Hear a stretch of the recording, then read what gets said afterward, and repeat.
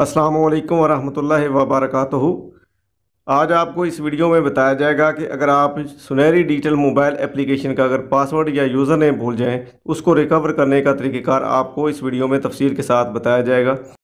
इधर मेरी आपसे रिक्वेस्ट है कि अगर आप चैनल पर फ़र्स्ट टाइम हैं तो चैनल को सब्सक्राइब कर लीजिए ताकि हर इन्फॉर्मेटिव वीडियो आप तक बर वक्त पहुँचती रहे। जब आप सुनहरी मोबाइल एप्लीकेशन को ओपन करते हैं तो आपके सामने ये इंटरफेस आता है। इस इंटरफेस से आपने forgot user name and password इस पर क्लिक करना है। जैसे ही आप इस पर क्लिक करेंगे तो सिस्टम आपके सामने एक नया पेज ओपन करेगा। इस नए पेज पे आपने लीगल आईडी टाइप सेलेक्ट करनी होती है। जिस डॉक्यूमेंट के तहत आपने अकाउंट ओपन करवाया होता है, चाहे वो आपका पासपोर्ट हो नेशनल टैक्स नंबर हो पीओसी हो या शनाख्ती कार्ड हो, जो डॉक्यूमेंट्स आपका होगा उसको आपने सेलेक्ट करना है और उसी डॉक्यूमेंट्स का नीचे वाले बॉक्स में आपने नंबर लिखना है। जब आप नंबर लिख लें तो आपने नेक्स्ट पे क्लिक कर देना है।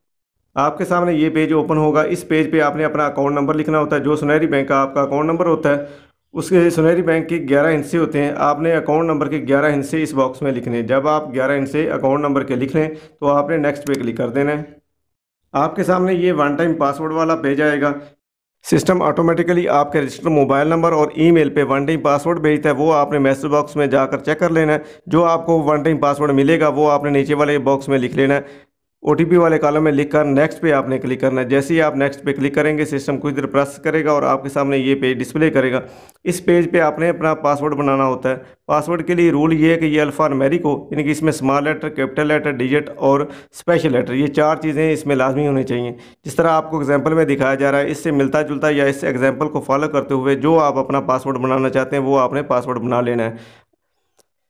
जो पासवर्ड आप बनाएँगे, उसको आपने फ़र्स्ट बॉक्स में भी लिखना है और सेकंड बॉक्स में भी लिख लेना है। जब आप इस पेज को मुकम्मल फिल कर लें तो आपने नेक्स्ट पे क्लिक करना है।